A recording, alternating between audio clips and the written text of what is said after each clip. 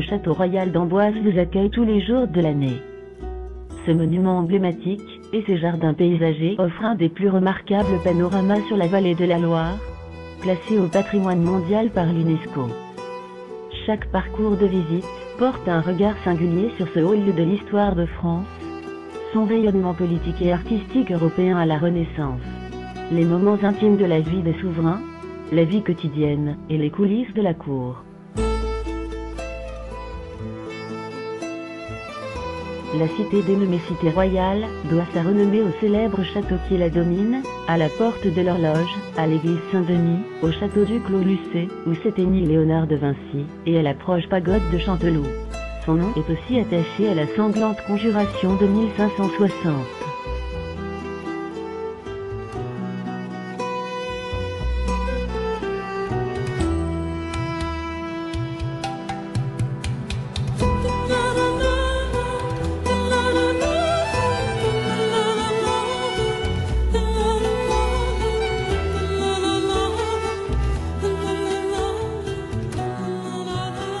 La pagode de Chanteloup, folie du XVIIIe siècle, au cœur des châteaux de la Loire, est le témoignage du château du duc de Choiseul, détruit en 1823, dont une restitution virtuelle est présentée sur le site. La pagode offre du haut de ses 44 mètres, un panorama grandiose sur la forêt d'Amboise et la vallée de la Loire. Dans le parc de 14 hectares, goûtez les joies des jeux à l'ancienne en bois, ou les joies d'un pique-nique champêtre, Découvrez le petit jardin chinois invitant à la méditation, et le calme d'une promenade en barque sur la grande pièce d'eau.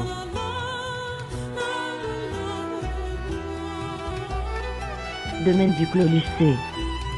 C'est un manoir du XVe siècle donné par François Ier à Léonard de Vinci.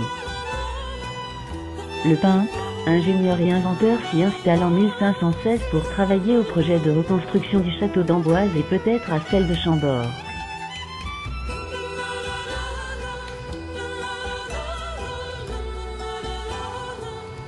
Dans un théâtre de verdure, au cœur d'un parc paysager de 2 hectares, se niche pas moins de 45 miniatures des plus beaux châteaux du Val-de-Loire. Mini-château, c'est la possibilité de découvrir ou redécouvrir les plus prestigieux châteaux de la Loire, à pas de géant.